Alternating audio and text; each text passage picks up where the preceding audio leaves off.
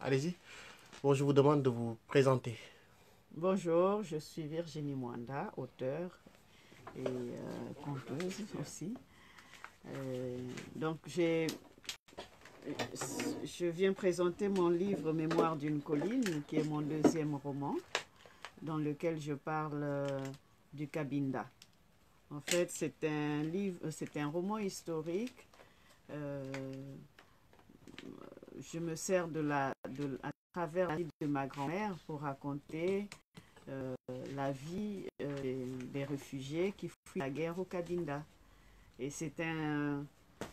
Le personnage principal, c'est ma grand-mère. Je me sers de, de ma grand-mère. C'est elle qui raconte, parce que c'est monologue. Elle raconte du haut de sa colline, au milieu de la savane. Elle raconte les mouvements de population. Elle parle de l'exode, les gens qui quittent la guerre, les gens qui quittent le, le, le, le Cabinda, qui quittent la RDC et qui traversent cette zone, cette euh, savane pour aller en direction de la mer. Et elle raconte, elle raconte sa vie, elle raconte ce, qu'elle voit, elle raconte euh, sa famille, ses enfants qu'elle ne voit plus. Et euh, voilà, donc je vous un peu, c'est une vieille dame qui parfois bien, parfois va mal, selon ses humeurs, elle raconte quoi, elle raconte sa vie. Je voulais faire ce livre-là, c'est un livre témoignage. C'est la suite de mon premier livre qui est Au soleil noir du Cabinda, dans lequel je parle de la vie des maquisards du FLEC. C'est le mouvement de libération de l'enclave du Cabinda qui se, battait contre, contre l'Angola. Donc j'ai voulu raconter, parler du Cabinda, qui est un territoire qui a été annexé à l'Angola en 1975. Euh, suite à, des accords que l'Angola, l'Angola a signés avec le Portugal au moment de, la révolution des œillets ici au Portugal. Et euh, à, cette, euh, à cette révolution des œillets, le Portugal avait encore besoin de, de, a été appauvri et euh, comme pendant la colonisation, ils, avaient, ils possédaient les puits de pétrole qui étaient déjà exploités par les compagnies américaines au Cabinda. Donc c'était pour eux une façon de conserver ces puits de pétrole, ces revenus euh, pétrolières. C'était de signer des accords qui leur permettaient, avec l'Angola, qui leur permettaient de, continuer à, garder le, le, le Cabinda encore euh, entre les mains. Voilà pourquoi j'ai écrit ce livre qui, euh, qui me tient vraiment à cœur parce que ça raconte un peu de ma petite enfance. C'est ma grand-mère qui m'avait prise, j'avais deux ans. Donc tout ce que je sais aujourd'hui, c'est faire, raconter des histoires, euh, le souvenir de ma vie, toute la richesse que j'ai aujourd'hui, en fait, je l'ai puisée chez elle quand j'étais petite dans un petit village qui s'appelait Nkoutekini, à côté de Tintanzi, au sud du Congo. C'est un petit village frontalier, un village de réfugiés. Donc je raconte la vie de ces réfugiés-là, de ce petit village-là, et euh, de ce peuple qui est le peuple euh, du Canada. Donc euh, voilà ce que je viens vous présenter. ça se passe au sud du Congo. J'espère et surtout que ça vous aidera à comprendre un peu l'histoire de l'histoire contemporaine de cette partie de l'Afrique centrale où, euh, commencer, euh, comme disait François-Xavier Verschave, où commencent la, les, grands prédateurs d'Afrique. C'est-à-dire que le Cabinda a été un peu précurseur de la mafia Afrique, au-delà de la France-Afrique. Donc euh, là-bas se retrouvent plein de toutes les compagnies occidentales, les compagnies pétrolières occidentales. Et c'est le peuple, mais par contre le peuple n'a rien. C'est-à-dire que le peuple au début était obligé de vivre dans la forêt, laissant tout l'espace, la mer, le bord de mer aux compagnies pétrolières. Voilà un peu le destin de, notre Afrique. Mais la, le Cabinda vit cela depuis les années 70. Aujourd'hui, on trouve pas mal d'exemples partout en Afrique, mais le Cabinda en est un peu précurseur. Aujourd'hui, ça va mieux, ça va mieux. L'armée a été plus ou moins décimée, il n'y a plus personne dans la forêt, Et les populations, les gens se sont rendus, les restes de militaires se sont rendus. Et euh, voilà, ils vivent euh, plus ou moins difficilement. Mais euh, la situation on est, a, a, évolué, a beaucoup évolué. En mieux, je ne sais pas, mais ça a évolué. Voilà, merci. Parlez-nous de vos autres ouvrages aussi. Alors, je n'ai pas, pas le premier roman qui est Au soleil noir du Cabinda, mais je peux vous parler des contes parce que j'ai dit que j'étais conteuse aussi. Euh, c'est un recueil de contes. Il y a dix histoires euh, dans ce livre, contes drôles et contes merveilleux de la savane. Ce sont des contes qu'on me racontait, que j'ai appris, ou quand j'ai appris à compter au milieu d'autres enfants et beaucoup d'enfants de réfugiés justement qui venaient du Cabinda. Donc ce sont des contes de mon village dont j'ai fait la transcription. Ça, c'est différent. Façon Aphrodite. Ce sont des portraits de femmes. De femmes dont le lien est de quitter le pays d'origine, de quitter sa famille, de quitter ses amis pour aller rejoindre le mari dans un autre pays, dans une, une autre culture et qui doivent s'adapter. Là-dessus, c'est, on pourrait dire, c'est le métissage. Il y a de très belles choses, des choses formidables. Mais il y a aussi des surprises, des drôles de surprises parfois. Donc c'est pour cela que j'ai voulu écrire ce livre, pour raconter un peu, faire le portrait de ces femmes qui me ressemblent, qui ont quitté leur vie d'origine pour aller rejoindre Marie et qui doivent faire avec la réalité. Et ce n'est pas toujours chose euh, évidente. Et euh, pas toujours évident. Et euh, j'ai vraiment voulu parler de ces cinq femmes, dont surtout la première qui m'a inspiré ce livre, c'est Tatiana, qui est une, une, une, roumaine, une femme roumaine qui a quitté la Roumanie dans les années, fin, début des années 80 et qui s'est établie au Congo, à Pointe-Noire, dans ma ville. Et cette femme a fait sa vie, toute sa vie au Congo. Et quand j'ai vu cette femme au milieu de petits enfants noirs, et elle, c'est une blonde d'environ, elle avait, à l'époque, elle avait, je crois, à peu près entre 60 et 65 ans. Je me suis vue en elle dans, dans, dans, dans 15 ans, 20 ans, que je vais lui ressembler parce que ça se trouve, j'aurai autour de moi des, petits, des petites têtes blondes et que personne ne croira que ce sont des petits enfants. Donc c'est cette femme-là qui a inspiré mon, mon, ce livre-là. Mais il y a aussi une, une, une Kenyane, il y a une euh, il y a une, euh, une Camerounaise, il y a une Rwandaise. Ce sont des femmes qui toutes ont quitté le pays, allaient rejoindre le mari ailleurs et ont dû s'adapter. Voilà.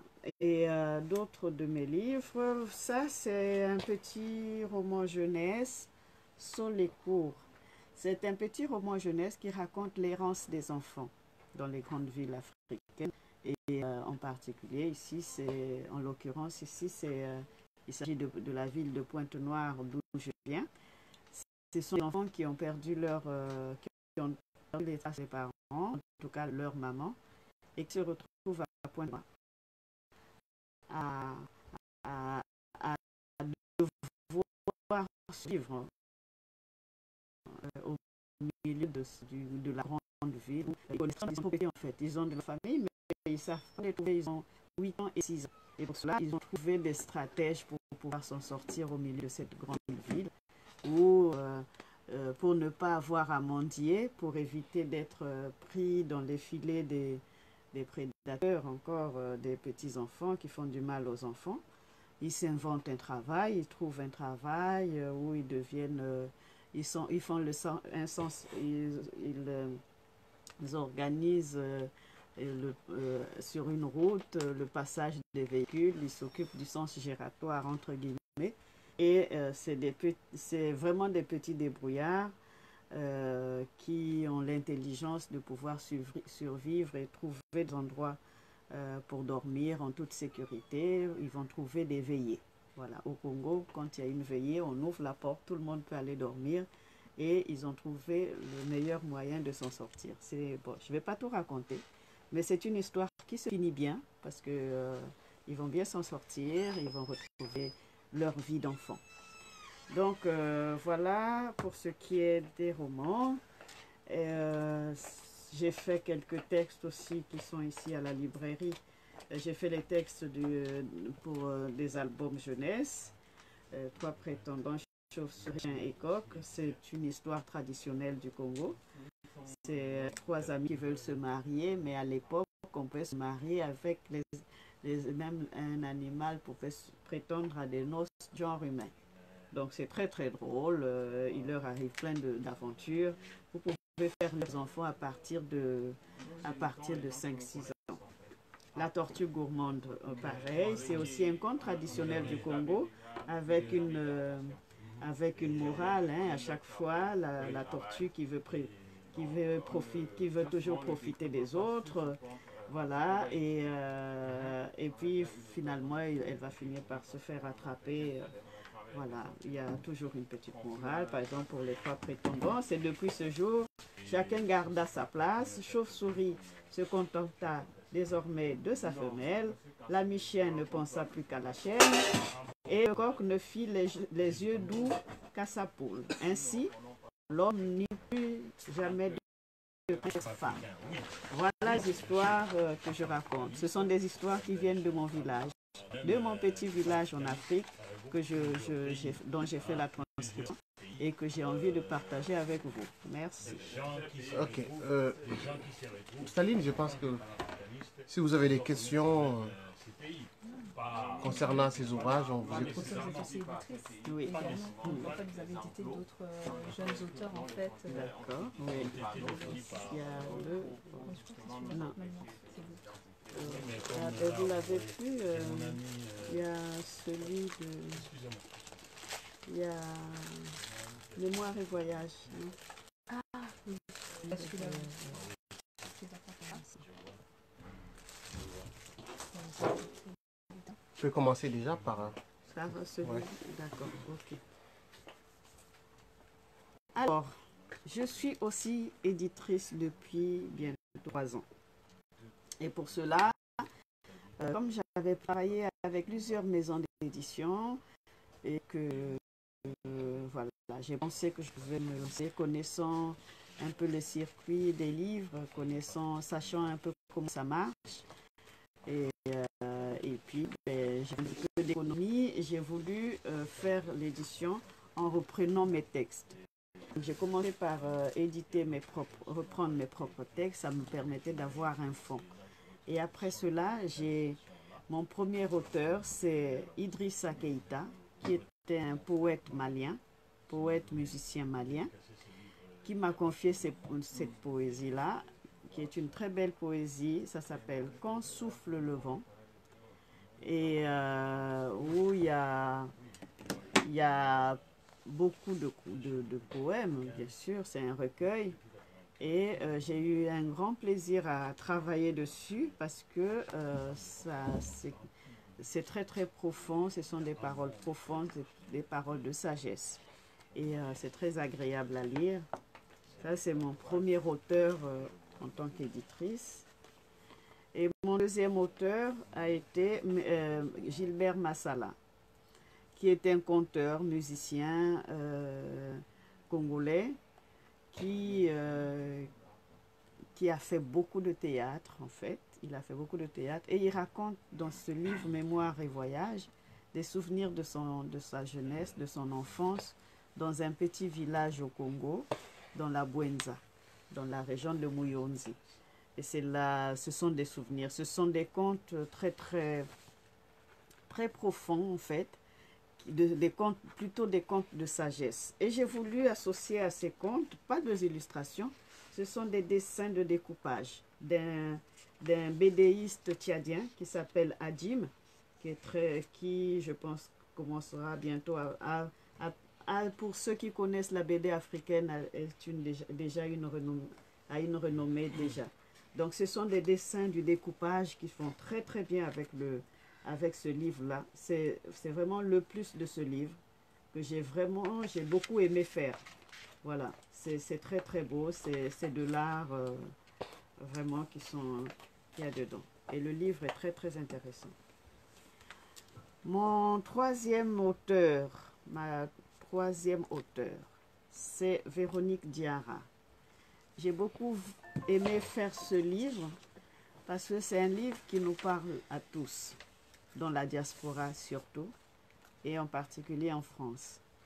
Euh, on, pas, on ne le reconnaît pas toujours, mais c'est un livre qui parle de la, du harcèlement au collège et du racisme. Et euh, elle a raconté, elle a fait un roman à partir de plusieurs, en fait, elle s'est inspirée de plusieurs situations de racisme à l'école et de harcèlement. C'est une jeune fille de quatrième qui est noire, qui travaille plutôt très bien à l'école, mais qui, euh, devient le, le, le souffre-douleur de sa classe, en particulier d'un petit groupe mené par une jeune fille qui, elle, elle est, blonde, elle est blanche, elle a, les moyens, euh, et qui arrive à acheter, entre guillemets, les autres, à entraîner les autres pour euh, se mettre contre Audrey, la, jeune noire, la petite noire. Et elle souffre pendant, pendant des mois dans cette classe de quatrième, jusqu'au jour où euh, ça sort. Ça sort, elle parle de sa souffrance au, au, collège, et à partir de ce moment-là, les pauvres portes s'ouvrent pour elle, et les adultes en prennent, en prennent conscience et prennent note, et surtout s'occupent du problème. C'est ce qui va libérer la jeune fille, pour la sortir de sa souffrance. Et j'ai trouvé ce livre-là euh, c'était c'est un, livre à faire et, et, qu'il fallait euh, faire vivre. Parce que la question de, du harcèlement à l'école, la, la, question de, de, du racisme, c'est une réalité. Et malheureusement, à cette période, en ce moment en France, quand même, on parle beaucoup de racisme. Et euh, les gens, avant, ça, ne se voyait, ça se voyait moins. Mais maintenant, les gens ne se cachent plus. Donc, euh, donnons des arguments à nos enfants.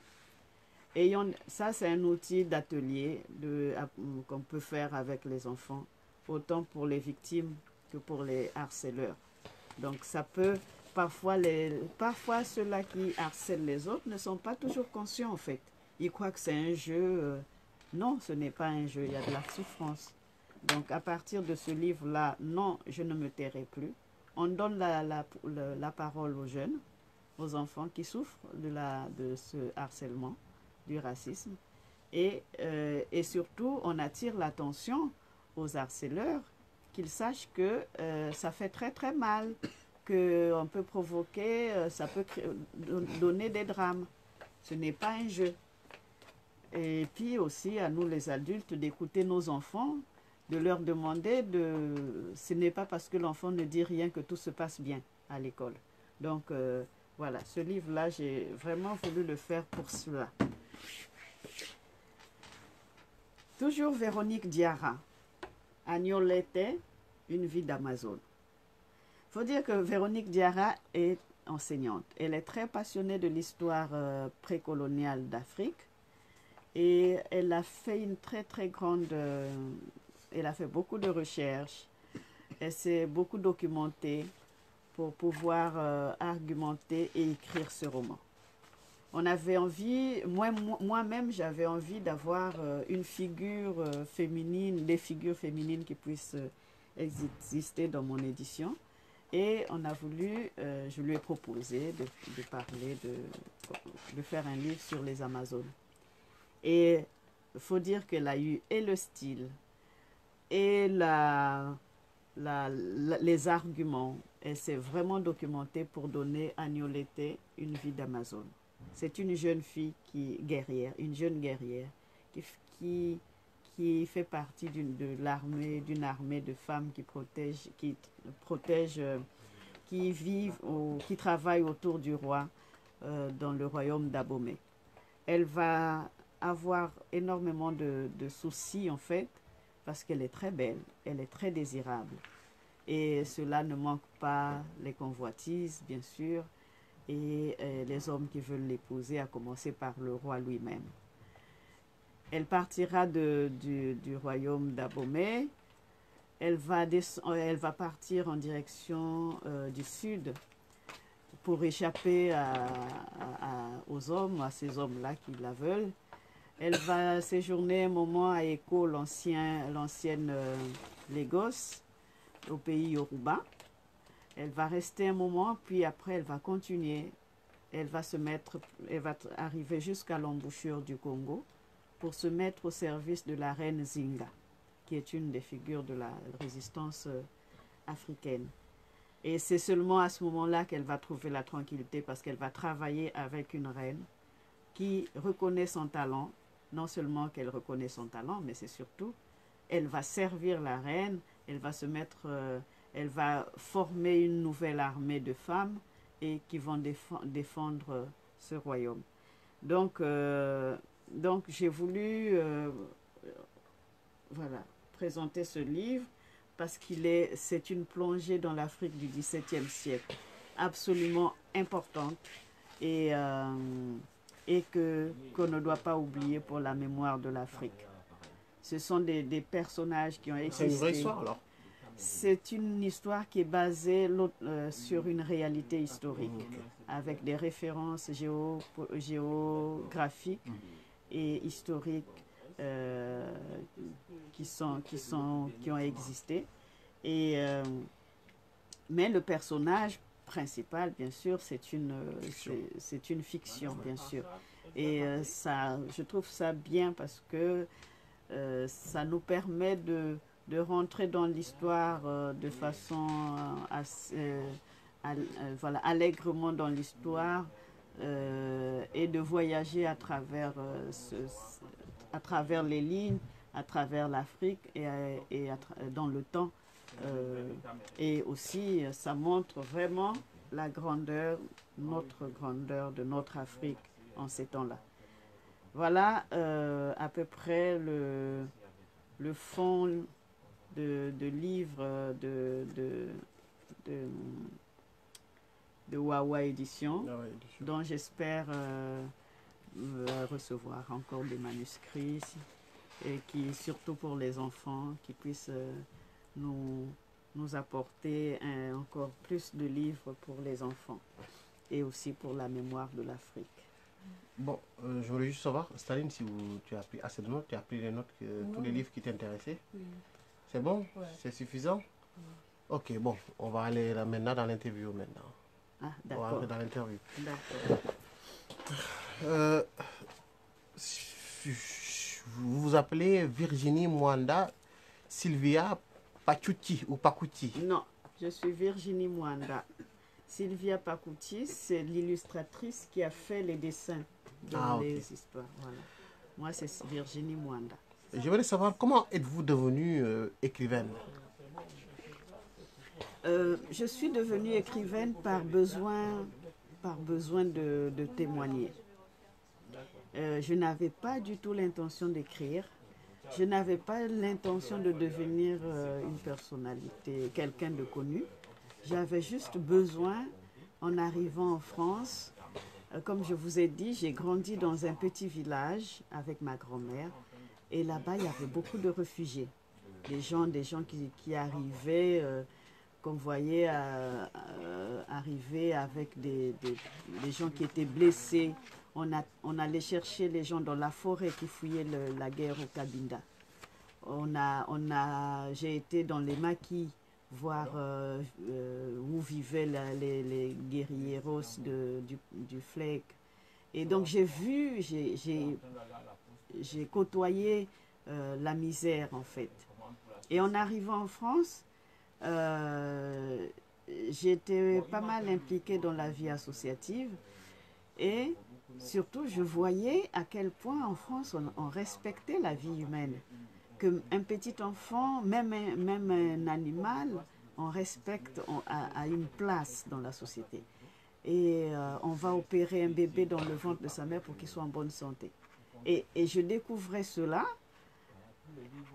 Et à côté de ça, je viens du Cabinda, où il y a euh, du pétrole, où il y a énormément de richesses, mais les gens souffrent. Et parmi ces compagnies qui exploitent le pétrole, il y a, il y a à l'époque, c'était euh, Elf, il y avait Total. Je me suis dit, mais. Et puis j'avais quelques lectures qui me, disaient que. Voilà, je me suis dit, mais non, non, il faut témoigner pour mon peuple, il faut écrire quelque chose. Donc on avait créé une association où on parlait de, de- du Cabinda, mais on dit que ça ne suffisait pas. Donc j'ai dû, euh, j'avais besoin d'écrire sur le Cabinda, essentiellement sur le Cabinda. Après, euh, pour cela, bon, ça ne m'est pas venu tout seul. J'ai fait des ateliers de- de- d'écriture. J'ai eu, euh, entre guillemets, une, euh, une dame qui m'a accompagnée euh, enfin, aux, ateliers d'écriture, en fait, où on faisait, je faisais des exercices d'écriture, de la narration et tout ça, jusqu'au jour où ben, j'ai écrit un texte, un texte qui faisait euh, de prime abord, j'avais dépassé les 35 euh, ou 40 pages. On m'a dit ben, euh, de continuer. Et j'ai continué. C'était Au soleil noir du Capinda que j'ai pu euh, très rapidement publier. Vous avez écrit combien d'ouvrages au total? Au total, je, pense une dizaine, euh, oui, non, peut-être pas dix. En tout cas, j'ai trois romans grands, grands romans. Montrez-nous s'il vous plaît, juste là. J'ai j'ai, euh, Au soleil noir du Kadinda, il n'est plus disponible, mais j'ai Mémoire d'une colline, mais il va ressortir. Mémoire d'une colline, façon Aphrodite. Euh, et puis, euh, il y avait y a un autre livre jeunesse que je n'ai plus euh, euh, sur Internet, on peut encore le trouver. Ça s'appelait. je ne me souviens plus du titre. Bon, sinon, il y a Les Contes, il y a euh, Sur les cours, c'est mon dernier roman. Une, une petite présente, avec une petite présentation, s'il vous plaît. Ça vous dérange pas? D'accord. Bon, Mémoire d'une colline, c'est euh, Mémoire d'une colline est une euh, fenêtre ouverte sur la savane qui raconte euh, la, la vie des réfugiés. C'est une vieille dame, c'est le monologue d'une vieille dame qui est ma grand-mère et j'ai voulu raconter la vie de ma grand-mère à travers ce livre. J'ai voulu témoigner aussi sur l'histoire du Cabinda dont on parle très peu, mais c'est un territoire qui a été annexé à l'Angola en 1975 à la suite de, la révolution des œillets et des indépendances des colonies portugaises. Donc le Portugal a signé un accord, l'accord d'Alvor avec l'Angola, pour pouvoir conserver les revenus pétroliers, les revenus pétroliers qui, dont- qui étaient déjà exploités au, au Cabinda par les compagnies américaines. Voilà ce, que, ce dont je voulais témoigner dans ce livre à travers la vie de ma grand-mère. Il y a les contes, les contes drôles et les contes merveilleux de la savane. Ce sont des contes, c'est une transcription de contes de mon enfance et de, de mon village. Il y a Façon Aphrodite. Façon Aphrodite c'est des portraits de femmes, cinq portraits de femmes qui ont quitté leur pays d'origine pour se rendre dans une autre culture et qui doivent s'adapter euh, à une nouvelle réalité. Il y a des belles choses, mais il y a aussi des surprises, des choses pas toujours très drôles. Donc j'ai voulu raconter la vie de ces femmes-là qui me ressemblent. Elles ont quitté leur pays d'origine comme moi. Elles ont dû s'adapter dans un nouveau pays, dans une nouvelle culture et euh, ont dû vivre une réalité autre euh, leur, que leur euh, pays ou leur famille. Donc euh, j'ai voulu raconter la vie de ces femmes-là qui me sont assez, assez proches culturellement. Cours, c'est un roman jeunesse qui parle, qui est pour les enfants à partir de CM1, CM2, un enfant qui lit bien, CM1, CM2. C'est une belle lecture qui ouvre un peu l'esprit des enfants parce que ça parle de deux jeunes enfants de 8 et 6 ans qui sont très débrouillards et qui s'en sortent, qui se débrouillent bien suffisamment pour s'en sortir au milieu de Pointe Noire qui- où ils ne connaissent personne, où ils doivent traverser la ville pour trouver un endroit sécurisé pour dormir et qui se sont inventés leur petit boulot pour pouvoir gagner un peu de sous sans avoir à mendier. Voilà, euh, et ça c'est des contes traditionnels, pareil, c'est des contes traditionnels de Congo. Celui-là aussi, la tortue gourmande, que les enfants aiment beaucoup. Euh, voilà un peu l'ensemble de mes livres. Je- Les autres ne sont pas là. Ah, c'est dommage que- qu'on n'a pas la chance pour que vous nous les présentez. Euh, J'aimerais savoir comment êtes-vous devenue éditrice alors? Euh, par la force des choses. Euh, je travaillais avec, euh, j'ai pas pu trouver, euh, peut-être parce que je n'ai pas trouvé une grande maison d'édition, je n'ai pas pu convaincre une grande maison d'édition. J'ai travaillé avec des éditeurs qui faisaient ce qu'ils pouvaient. Et en tant que conteuse, j'avais déménagé, j'avais quitté Grenoble, je suis venue m'installer dans la région parisienne. J'avais moins de travail euh, en tant que conteuse, donc j'avais un peu de temps. Et je savais un peu comment ça marche le- le- le- l'industrie du livre. Je sais toutes les étapes du livre, euh, de la création à la, à la, au lecteur. Donc je sais à peu près comment ça fonctionne. J'avais un petit peu d'argent. J'étais plus ou moins, j'étais au chômage, entre guillemets. J'avais un peu d'argent et j'ai voulu euh, reprendre mes textes déjà. Et puis euh, après, les choses sont venues parce que j'ai eu des propositions, des gens qui m'ont proposé leurs manuscrits que j'ai pris et euh, sur lesquels j'ai travaillé et que je continue à travailler. Donc tant que j'ai des manuscrits, j'écris et j'éditerai Depuis combien d'années vous êtes éditrice depuis bientôt trois ans. À trois ans déjà. Oui. Et euh, bon, dans, votre, dans vos ouvrages, on sent beaucoup de, que vous faites la, on sent que vous faites de la littérature militante. Qu'est-ce qui vous a poussé à devenir euh, une militante aujourd'hui? Ben, peut-être c'est le, le, le- chemin de vie. Euh, ma grand-mère était déjà militante parce que c'est avec elle, quand je vivais avec elle, j'étais toute petite, mais on allait approvisionner les militaires dans la forêt qui faisaient la guérilla du FLEC. On allait, on leur, je portais sur ma tête euh, des paquets de, de, de, de- de tubercules de manioc, du, des médicaments, des, des tissus, des, des vêtements, des médicaments qu'on apportait pour les, les militaires. Parce que mon oncle, en Militaire fait, de quel euh, du Cabinda, Ah, du dans la, Cabinda dans la forêt du Mayombe, oui. Et mon oncle, en fait, était militaire. Il se battait du côté de... Dans le Mayombe, se battait contre, contre l'occupation militaire angolaise. Donc ma mère elle-même, elle est aussi euh, allée secourir, euh, allait approvisionner euh, à manger euh, des vêtements, des cigarettes qu'on apportait pour les militaires. Donc j'ai l'habitude de...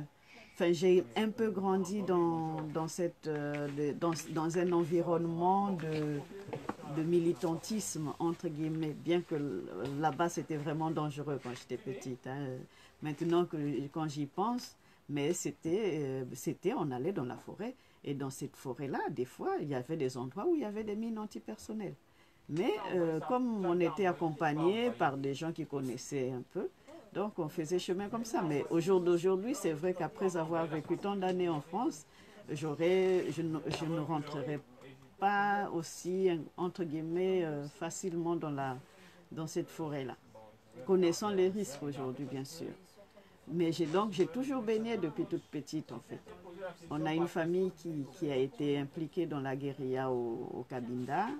Et, euh, et puis quand j'étais à Grenoble, parce qu'on arrivait en France, j'ai vécu 20 ans à Grenoble. Et à Grenoble, je faisais partie de l'association Survie Isère. Et euh, eux, c'est pas de l'humanitaire, c'est vraiment du militantisme euh, contre la France-Afrique. Et, et voilà, là aussi, c'était, j'ai travaillé avec, on a, j'ai fait quelques, on a fait quelques actions avec Survie. Et mon premier livre, Soleil Noir du Cabinda, a été préfacé par euh, François-Xavier Verschave, le président de l'ancien, enfin, défunt président de, de, de, de Survie. Donc, euh, j'ai toujours eu cet esprit un peu euh, de, Militante, ouais. de, recherche de, de justice. Ok. Et mais aujourd'hui, j'ai l'impression que dans vos, dans vos écrits, euh, dans vos propos, vous dénoncez une certaine occupation angolaise euh, sur le territoire euh. Oui. C'est ce qu'on dit, je pense. Oui, oui. Euh, oui, mais en fait, je fais état d'une réalité C'est du colonialisme que vous défendez, que vous, que vous... que je dénonce. Bien sûr, c'est un- un- c'est une réalité post-coloniale. C'est-à-dire que Les Angolais, et pourtant, ils se sont battus du même côté contre le Portugal. Et au moment des indépendances, ils, ils ont tourné la veste contre les, les, les Cabindés. Ils se sont appropriés le territoire du Cabinda, ils ont partagé avec le Portugal euh, les royalties pendant toutes ces années-là et le Cabindé n'avait, les Cabindés n'avaient rien. Ils, laissaient, ils les ont poussés dans la forêt, ils les ont tués, ils les ont massacrés, ils ont brûlé des villages. Tout ça pour protéger les exploitations pétrolières des compagnies, euh, compagnies pétrolières euh, américaines. C'est-à-dire que tout ça se fait entre Africains. On va tuer son propre, son peuple, entre guillemets, le peuple, voilà. On est entre, on est tous de l'ancien Congo, on est tous de la, de même peuple, le même peuple, et, ils vont signer les accords d'Alvor avec le Portugal parce que, euh, avec l'ancien maître contre lequel on, s'est battu ensemble. Voilà un peu, c'est ça qui, est imprégné en moi. Et bien qu'aujourd'hui, ce n'est plus la même réalité, bien sûr, les choses ont changé et que, voilà, on aurait pu, et je pense que ce n'est pas tout à fait fini, mais on trouvera à un moment donné une certaine, une certaine stabilité et une meilleure euh, discussion par rapport à cela. Mais euh, c'est vraiment euh, l'Afrique contre l'Afrique pour les intérêts de l'Occident. Malheureusement, malheureusement. Et je pense qu'on peut construire l'Afrique entre Africains, pas contre, contre les contre Africains, contre les autres Africains. Et euh, ce n'est pas à, proprement parler, c'est dans Mémoire d'une colline, pour moi, il ce n'est pas impossible de vivre ensemble avec le, le Cabinda, le, l'Angola. Mais on peut vivre ensemble sur d'autres bases. Ce n'est pas, sur le, ce n'est pas par une occupation militaire. Et, et, bon, après, après coup, une fois qu'ils ont fait ça, parce qu'en sortant tous de la colonisation, euh, jusqu'à aujourd'hui, malheureusement, euh, on est toujours un peu à la botte de, de l'ancienne euh, puissance coloniale. Mais euh, faisons quelque chose d'autre que, que, de satisfaire l'ancien colon. Quoi. Et cette base-là, elle est encore à trouver entre le, entre le Cabinda et l'Angola. Bon, en vous entendant parler aussi, je vois que vous parlez beaucoup, vous faites là une différence entre l'Angola et, et, le Cabinda. Je voudrais savoir euh, où se situe euh, géographiquement euh, le Cabinda et aussi comment le Cabinda est-il est devenu angolaise aujourd'hui? Le Cabinda se situe, c'est une, enclave qui est entre, enfin, entre le Congo-Kinshasa et le Congo-Brazzaville, sur, sur l'océan Atlantique. Donc, il n'y a pas de frontière avec l'Angola. Il n'y a pas de frontière. Par contre, euh, dans l'Empire Congo, c'était le même, c'était le même, les mêmes royaumes, c'était le même, le, même Empire Congo, dans l'ancien Congo. Et, mais, entre-temps, il y a eu les colons qui sont arrivés, qui ont découpé l'Afrique telle qu'ils l'ont découpée. Et ce n'est pas forcément une mauvaise chose que les pays se, retrouvent leurs frontières. À ce moment-là, revenons à, à, à nos anciens royaumes. Ce n'est pas, et faisons-le de façon plus, plus, plus, digne, mais pas en allant tuer les autres pas en allant exterminer une population pourvu que la puissance euh, pétrolière puisse continuer à faire son travail. Et ces puissances pétrolières-là, encore si c'était africain, non, ce sont des puissances pétrolières occidentales. Donc on est toujours là au service, au service de la, de, de, de, du, colon en fait. Et euh, si on est au service du colon, euh, l'Afrique jamais n'existera si on continue à rester au Et donc, quand est-ce que le Cabinda est devenu angolais? Mais c'est à la suite de cette signature de, euh, des accords d'Alvor au Portugal qui, qui, qui, qui, a fait passer le, le de protectorat portugais à une province ou bien à, une, à un territoire angolais. Mais autrement, il n'y a pas de frontières. Si, si vraiment il y avait attachement, entre guillemets, pour dire, bon, ben on laisse tomber les frontières euh, coloniales et, et on remet les frontières d'avant, ben la première chose, c'était de rallier, de, de rattacher à, à la République démocratique du Congo d'aujourd'hui. Parce que c'est là, au moins, il y a des... Les peuples se connaissent ou, la, ou bien le Congo-Brazza. Parce que là, c'est les mêmes familles, en fait. Les mêmes familles, on va retrouver, par exemple, dans l'ancien Luango, mais ce sont des héritiers du Congo qui, sont, qui ont créé Luango, qui se trouve du côté du Congo français, c'est-à-dire le Congo-Brazzaville. Et, et, et, là, on peut parler de, de, de retrouver les anciennes frontières. Et bon, je ne suis pas contre, mais seulement que ça fasse dans le respect et la dignité des uns et des autres. Et c'est l'injustice, en fait, dont, je, dont on parle à nouveau, euh, dans, qui, me révolte. Euh, sachant que le MPLA est, contre l'autonomie de euh, est contre l'autonomie de Cabinda, du territoire cabindé, euh, quelle était la position de Savimbi, par exemple? Savimbi était plus ou moins, il, était, il se déterminait, il, se, il ne se, il n'a pas fait de déclaration euh, par rapport à la situation du cabinet.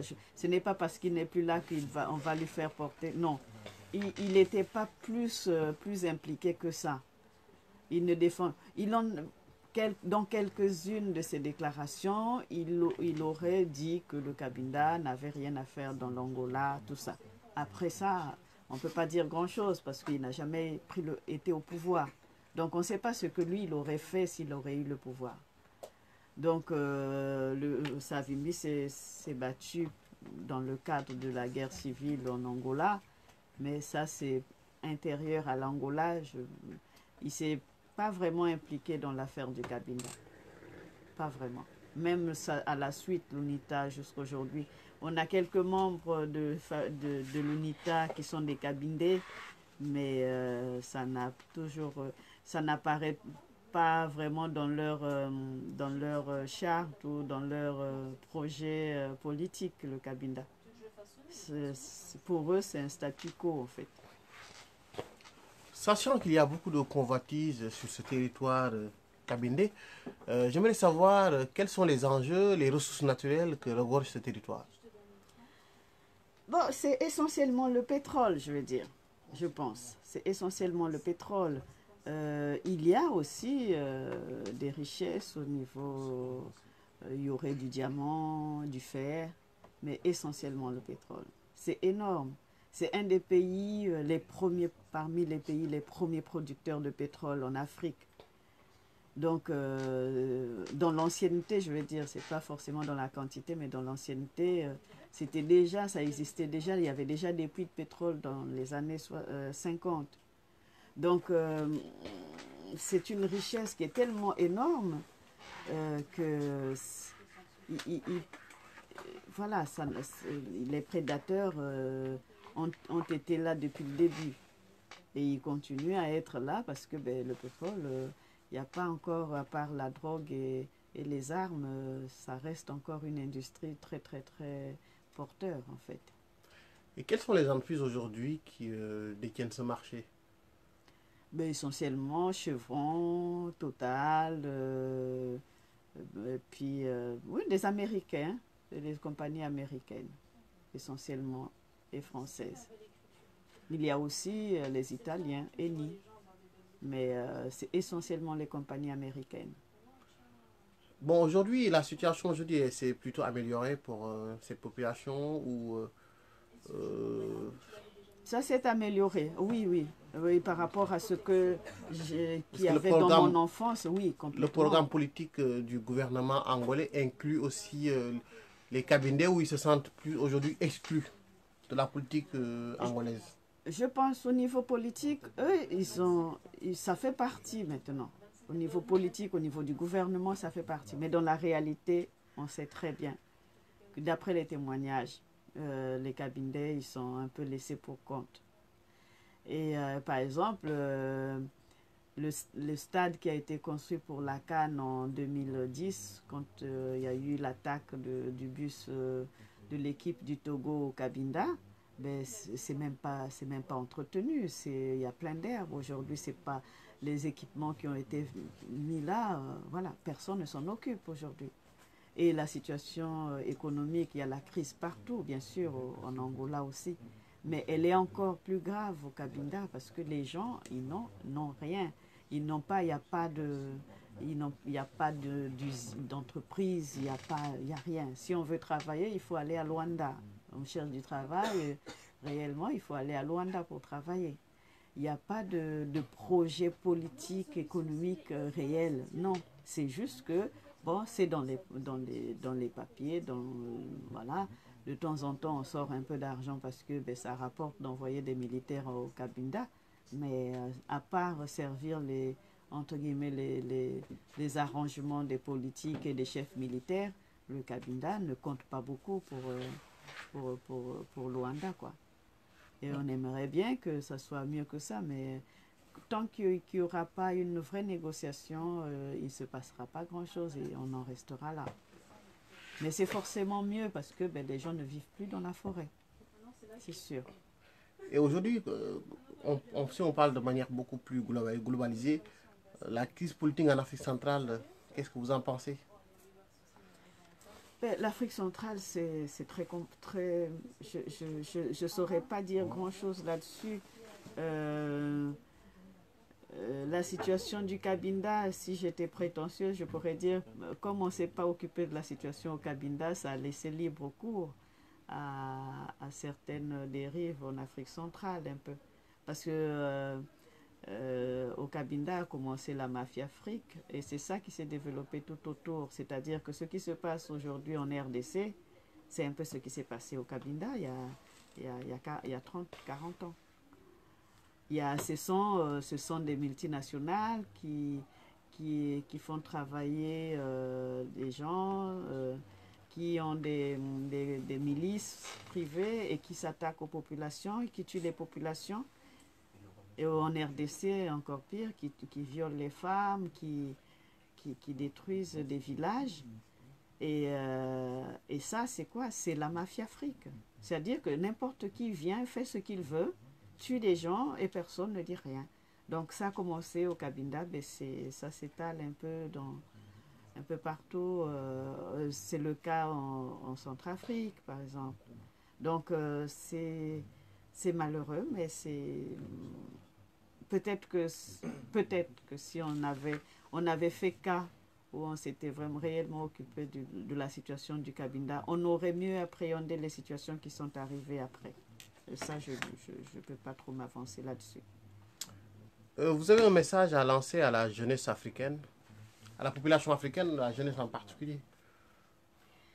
Euh, le message serait plus euh, un message de garder espoir et surtout de faire en sorte de ne pas toujours chercher à sortir du, continent, surtout avec ce qu'on voit dans la Méditerranée. Je pense que c'est euh, euh, aux, jeunes, ils peuvent construire l'Afrique. C'est sur les jeunes qu'on compte pour la construction, pour bâtir l'Afrique. Si les jeunes tous doivent partir, qu'est-ce qui reste? On va toujours continuer à, à il faut, il faut mieux se battre sur place que de venir risquer. Vaut mieux risquer sa vie sur place en essayant de changer les choses que de venir risquer sa vie dans la mer pour, pour, pour rien. Or, qu'en risquant sa vie sur place, on peut, on, peut, on, peut euh, on, rend service à toute une nation. Donc, euh, quand on voit toutes les dictatures qui, qui, qui sont là, qui, des gens qui, qui, qui détournent l'argent, qui, qui font n'importe quoi, au vu au-dessus au, au de tous, euh, qui se pavanent dans des... Voilà. Et les jeunes, ben, il faut se révolter contre ces gens-là. Pas, pas, pas aller risquer la vie dans la mer. Autant risquer à, à de s'attaquer, enfin, je n'appelle pas... Mais euh, non, c'est-à-dire il faut se révolter, mais sur place, pas, pas partir. C'est tout ce que je peux, je peux dire. Je pense que l'Afrique a besoin de, ces, les forces, de, de la force des, de, sa jeunesse. Et cette jeunesse-là doit rester en Afrique pour construire l'Afrique. Et ça commence à se voir dans d'autres pays africains comme le Ghana, comme la Côte d'Ivoire, comme le Kenya, comme... il y a beaucoup, beaucoup de choses qui se font ailleurs. Au moins qu'on puisse qu'on puisse s'inspirer de ça, des autres pays africains, pour qu'en Afrique centrale, on ait la même chose. C'est-à-dire d'avoir, de ne pas en vouloir ceux qui se battent pour, euh, pour réussir et qui réussissent, plutôt en vouloir à ceux qui se servent dans les caisses et qui se permettent de, de narguer euh, tout le monde. Et euh, ça, c'est, il faut le faire sur place. Il faut être sur place, il faut se battre sur place. Quand on a un peu d'argent, ne pas le dépenser euh, en, chez les passeurs de, passeurs de route. il faut le dépenser sur place en, en créant sur place, en essayant de se battre sur place. Êtes-vous pour l'indépendance ou euh, le rattachement du territoire kabindé euh, à un des deux Congos euh, Pour l'indépendance, après avoir travaillé pas mal pour la question du Cabinda, je ne pense pas que l'indépendance apporte quelque chose pour le Congo, pour le Cabinda je pense qu'on peut vivre avec l'Angola. On n'est pas forcé d'être attaché à, un des, deux Congos. Mais on peut vivre euh, avec, continuer à vivre tel que c'est avec l'Angola, mais sur d'autres bases, simplement. Fédération, par exemple? Ben, Des relations euh, de respect euh, l'un de l'autre. C'est-à-dire qu'en Angola, qu'on puisse, qu'on puisse laisser vivre les cabinets qu'on ait le même programme économique en Angola, à Luanda, pareil, Katiowal, quoi. Voilà. Simplement que ça soit équilibré. Ce n'est pas, on n'est pas obligé de réprimander les uns et puis euh, malgré, alors qu'ils sont sur leur propre territoire, on vient, on puise le pétrole, on leur donne rien. Au contraire, euh, ils sont réprimandés. Donc, euh, au moins qu'on apporte la justice et qu'on partage un petit peu euh, les richesses, qu'on vive dans une démocratie. Quand il y a la démocratie, on essaie d'équilibrer les choses. Mais qui est la justice et la démocratie? C'est tout ce qui peut se faire. Donc, que ce soit avec l'Angola ou avec le Congo, ça sera pareil, le même, la même chose. Mais euh, continuer à vivre ainsi, mais avec plus de justice. Et il y a combien d'habitants au Cabinda, par exemple? Il y a à peu près un million d'habitants. Un million d'habitants? Oui. Et la, la distance entre le Cabinda et l'Angola, c'est combien de kilomètres? Je ne peux pas vous dire exactement, mais on doit traverser le, le Bazaïr, tout le Bazaïr et l'embouchure du Congo. En route, ça fait combien de jours?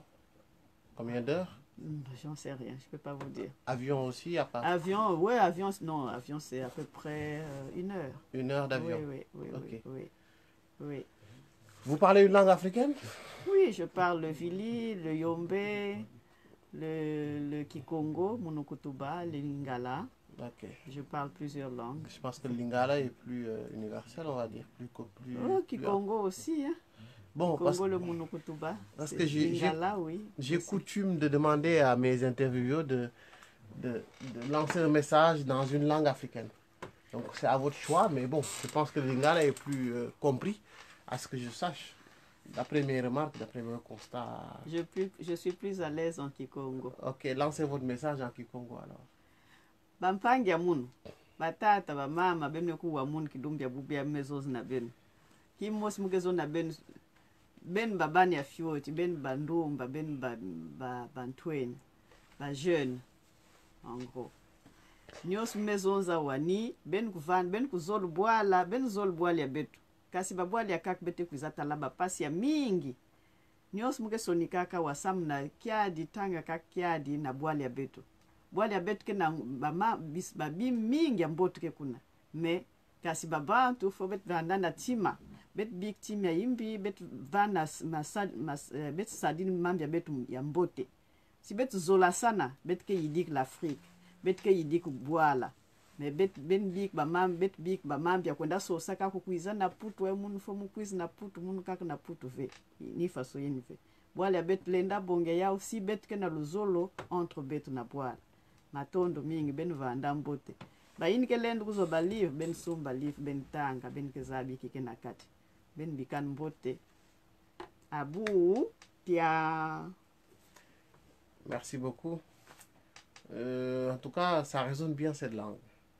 J'aime bien entendre ce genre de Kikongo. Et votre dernier mot, madame Mon dernier mot, c'est euh, beaucoup de bonheur à tous dans la lecture. Découvrez l'Afrique par ses livres, par ses auteurs. Et, euh, et surtout, soyez curieux. Merci. Au revoir. Au à revoir. bientôt. Au- Au revoir, à bientôt.